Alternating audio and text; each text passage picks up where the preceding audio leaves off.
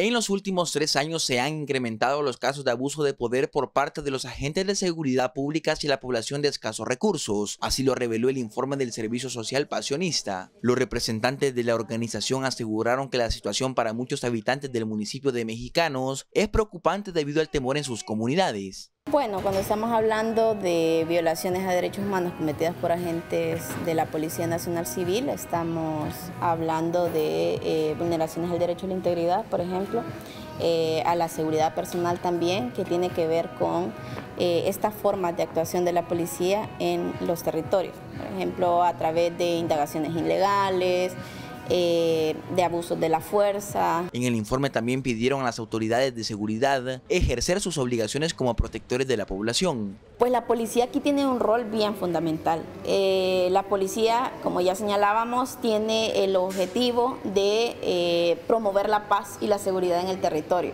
Entonces, su papel en el territorio puede ser fundamental para promover la cultura de paz. En cuanto a la implementación del régimen de excepción, los miembros de la organización pidieron que los procesos judiciales de las personas detenidas se puedan desarrollar de manera transparente. Para Teleprensa Canal 33, Santiago Hernández.